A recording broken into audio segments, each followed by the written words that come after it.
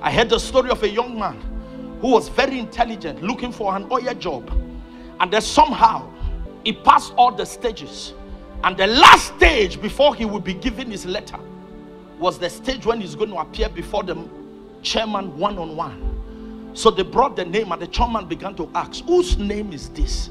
From which family?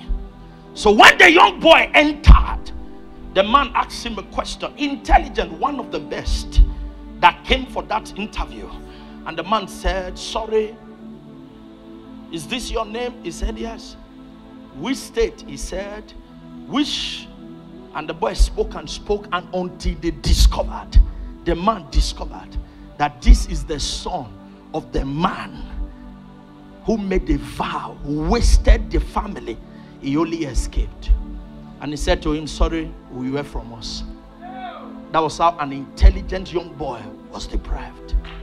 My father didn't leave houses for me. My father didn't leave money for me. But my father left a good name.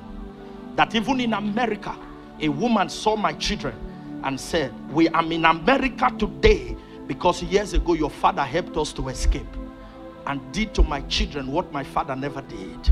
Church, a good name can be better than riches. A good name.